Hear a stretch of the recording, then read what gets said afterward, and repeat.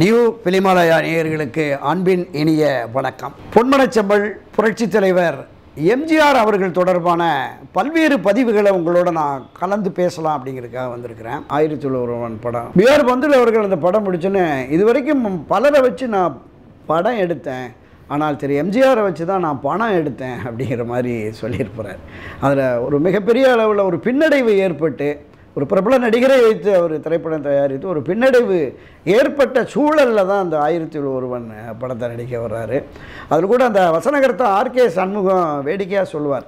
இந்த கதை டிஸ்கஸ் பண்ணிவிட்டு இதுக்கு என்ன டைட்டில் வைக்கலாம் அப்படிங்கிற போது நான் தான் சொன்னேன். ஆனால் ஒரு ஒரு சிறப்பான கதாபாத்திரம் ஒரு ஒரு பெருமைக்குரிய கதாபாத்திரம். அதனால் ஆயிரத்தில் ஒருவன் அப்படின்னு வச்சோம்னா நல்லாயிருக்கும் அப்படின்னா. அடாடா சபாஸ் சபாஸ்ன்னு சொல்லி ஆர்கே சண்முகம் தோலில் தட்டிட்டு உடனே ஒரு ஆயிரத்தி ஒரு ரூபாய் எடுத்து அவர் கையில் கொடுத்துருக்காரு ஆயிரத்தி ஒரு ரூபாங்கிறது இன்றைக்கி லட்சக்கணக்கான ரூபாய் அடுத்த வார்த்தை அண்ணே நான் தப்பு பண்ணிட்டேனே அப்படின்னு இருக்காரு. என்னப்பா சொல்கிற அப்படின்னு எம்ஜிஆர் அதிர்ச்சியாக கேட்டோன்னே நான் லட்சத்தில் ஒருவன்னு வச்சுருக்கலாம்னே அப்படின்னாராம். டேய் உனக்கு பேராசைப்பா என்று அவ்வளவு அவர் ஒரு மிக சிறந்த நகைச்சுவை உணர்வு உடையவர் எம்ஜிஆர் அவர்கள். அது மாதிரி பல சந்தர்ப்பங்கள் பல விஷயங்களில் அவர் இந்த ஸ்ரீதர் அவர்கள் உரிமை குரல் எடுக்கிற போது அப்படி தான் ஸ்ரீதருமே மிகப்பெரிய அளவில் நொடிச்சு போய் ஏராளமான நஷ்டம் வீடுகள் அடமானத்தில் சொத்துக்கள் எல்லாமே இழந்த நிலையில் கைபிசைந்து நிற்கிற போது தேவரையும் வடநாட்டை சேர்ந்த ஒரு பிரபல நடிகர் ஒருத்தர்கிட்டையும் போய் அணுகின போது நீங்கள் போங்க. திரு எம்ஜிஆரை சந்திங்க.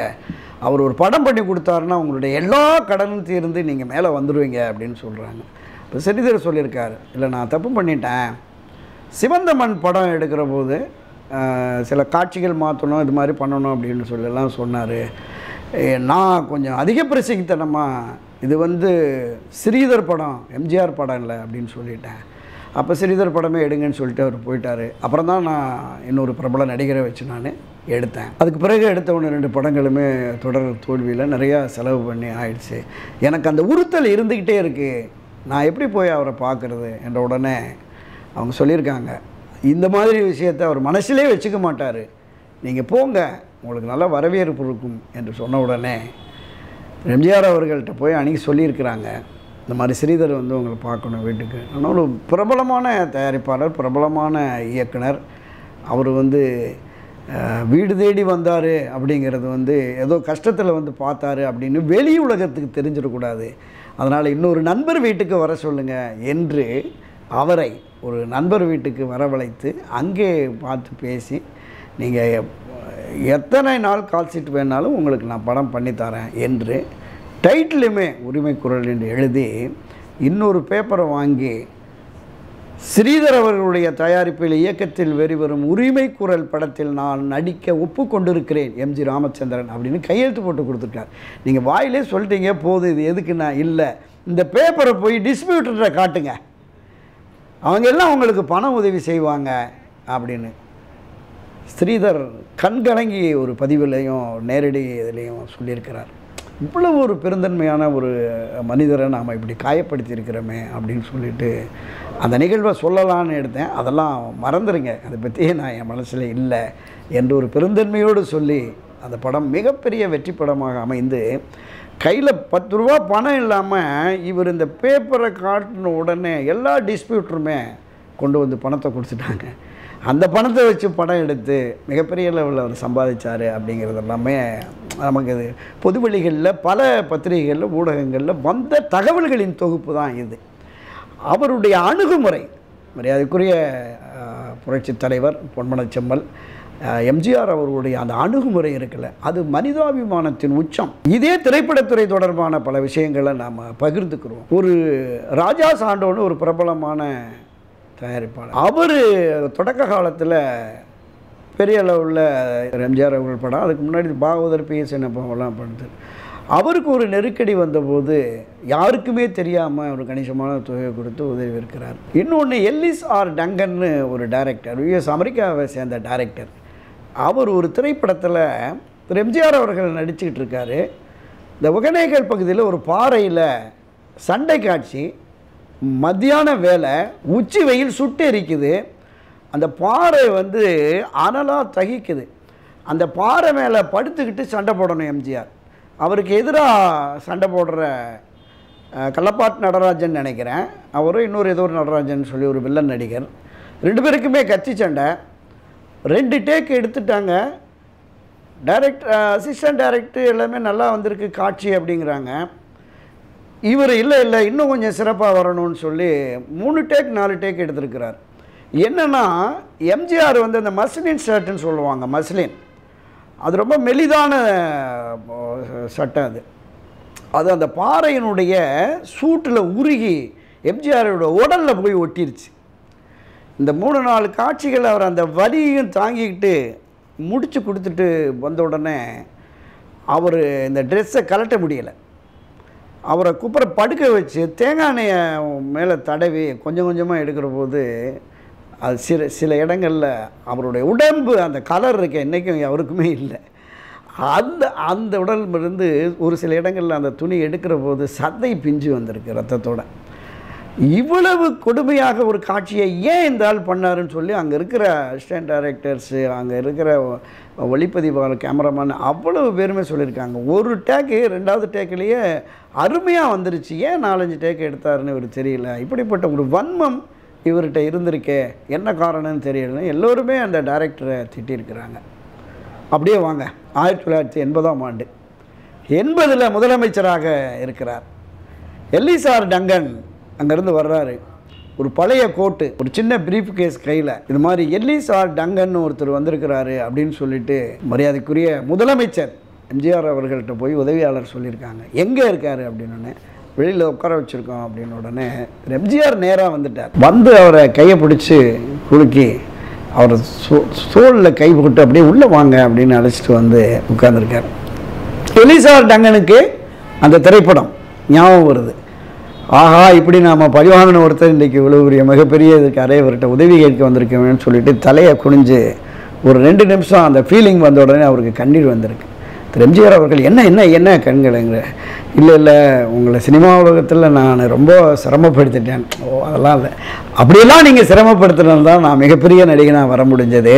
அதை பற்றி நீங்கள் இருக்க இப்போ எதுக்கு வந்தீங்க? அப்படின்னு சொன்னேன் நீலகிரி மாவட்டத்தில் வெலிங்டன் ஒரு ஏரியாவில் ஒரு முப்பத்தஞ்சு நாற்பது வருஷத்துக்கு முன்னாடி இடம் வாங்கி போட்டிருந்தேன். அது நான் சரியாக போய் பார்க்காம பராமரிக்காமல் இப்போ வேறொருத்தர் வந்து அந்த இடத்த ஆக்கிரமித்து வச்சுருக்காங்க.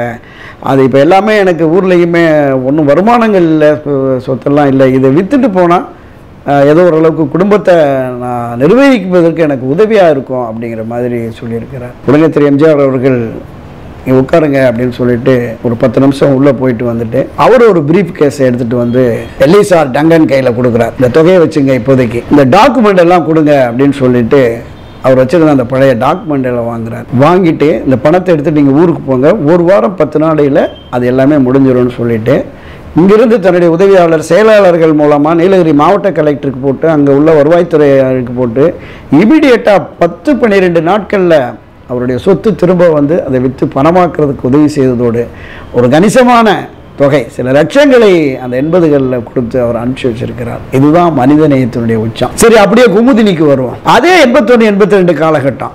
குமுதினியும் அவர் கணவரும் போய் உள்ளே போகிற போதே சாஷ்டாங்கமாக அவர் தலைவருடைய காலில் உள்ளே போயிருக்காங்க. உடனே வேண்டாம் வேண்டாம் இது மாதிரிலாம் பண்ணாதீங்க அப்படின்னு சொல்லிட்டு தலைவர் தடுத்த உடனே கணவரை நீங்கள் அதை தூங்க அந்த அம்மாவை அப்படின்னு சொல்லிட்டு போய் அப்படியே உட்காந்து ரெண்டு பேரும் இதே மாதிரி எல்எஸ் ஜங்கன் மாதிரியே அந்த மனதில் உறுத்தல் அவங்களுக்கு இருந்துக்கிட்டே இருக்கிறதுனால தயங்கி தயங்கி பேசியிருக்காங்க. வீடு அடமானத்தில் இருக்கு புதிய வருமானம் இல்லை. என்ன செய்யறதுன்னு பிள்ளைங்களுக்கும் சரியான வேலை வாய்ப்பு கிடைக்கல. ரொம்ப மனசு உடைஞ்சு இருந்தோம். அப்போ நண்பர்கள் சொன்னாங்க நீங்கள் தான் இதை காப்பாற்றணும் என்று சொன்ன உடனே உடனடியாக அந்த வீடு அடமானத்தை மீட்டி அவர்களுடைய வாழ்வாதார செலவுக்காகவுமே ஒரு தொகையை கொடுத்து அனுப்பிச்சிருக்கிறார். இப்படி மனித நேயத்தினுடைய உச்சமாக அவர் திரையுலகத்தில் இருந்தும் சரி அரசியல் பொது வாழ்வில் இருந்தும் சரி பல விஷயங்கள் நமக்கு கொட்டி கிடக்கிறது. அவரை பற்றின விஷயங்கள் நம்ம ஆண்டு கணக்கில் பேசினாலும் தீராது. இன்னொரு சம்பவம் என்னென்னா ஒரு பிரபல தயாரிப்பாளர். தேவையில்லாம திரு எம்ஜிஆர் மீது எந்த இடத்துக்கு போனாலும் ஒரு அவதூறு பரப்புறது ஒரு தேவையற்ற சர்ச்சையை கிளப்புறது தப்பாவே அவரை பற்றி விஷயங்களை சொல்றது இந்த மாதிரியே பண்ணிட்டு இருந்திருக்கிறாரு.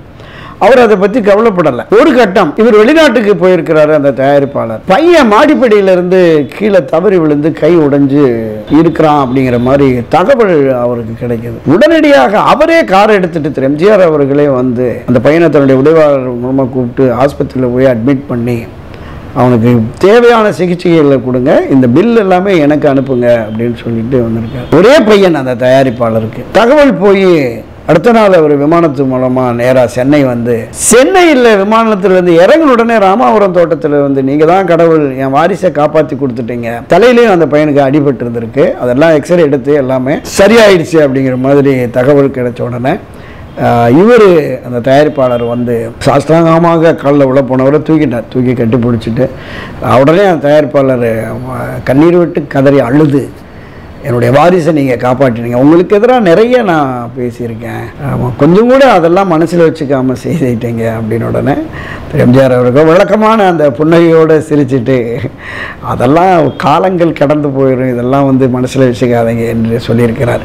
இந்த தகவலை பொது மேடையில் சரோஜாதேவி அம்மா சொன்னாங்க. அவருடைய மனிதநேயம் என்பதை ஒவ்வொரு இடங்கள்லையும் பதிவு பண்ணுவாங்க.